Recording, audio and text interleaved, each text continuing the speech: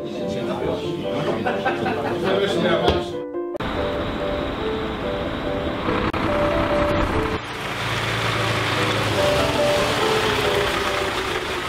het begin is het een kwestie van uh, wennen.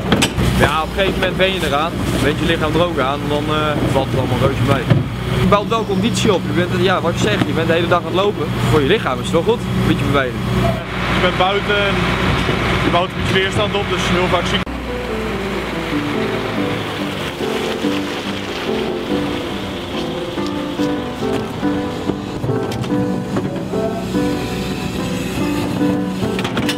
Zomers je profijt van. Natuurlijk dat je buiten loopt. En zwinters heb je de nadelen ervan. Maar ja, wat zijn nadelen? Dus dat heeft ook wel wat. Toch? Sneeuw, regen, het is niet lekker, maar uh, ja, ik ben graag buiten, dus het weer maakt niet zo heel veel uit. Uitsluit, bedankt. De ene waardeert het wat je doet.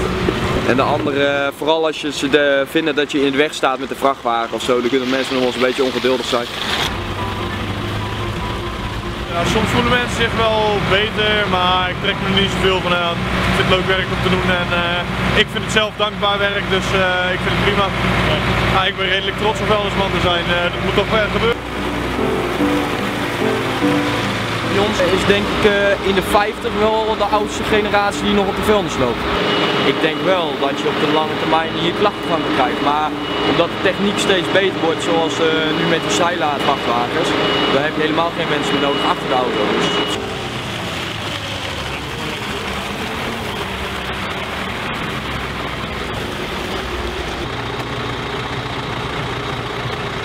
Is geweldig. Ja, dit zijn een mindere hoopjes, maar je die bankstellen hebt, dan zou je die bankstellen, die zou je zo pakken en weg te smijten. Je hoeft nergens rekening mee te houden of het stuk gaat of zo. Je gooit het erin en dan pers het weg. Dat is prachtig. je komt wel eens dingen tegen die nogal goed zijn of nog mooi zijn, eh, zoals een mooi bankstel of zo. Eigenlijk is het zonde, want de kringloop zou, er, eh, zou het nog heel goed kunnen verkopen, maar ja, als je dat allemaal moet gaan uitzoeken, dan heb je ook weer een dag taak.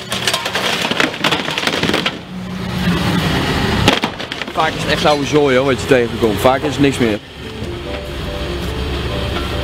Ik heb wel een, uh, een kliko geladen en uh, dat, dan deed ik de deksel los. En er lag gewoon gelijk een dood konijn bovenop. Uh, dat vond ik wel vreemd om te zien. Maar dat soort dingen gebeuren ook. Hoort een beetje bij.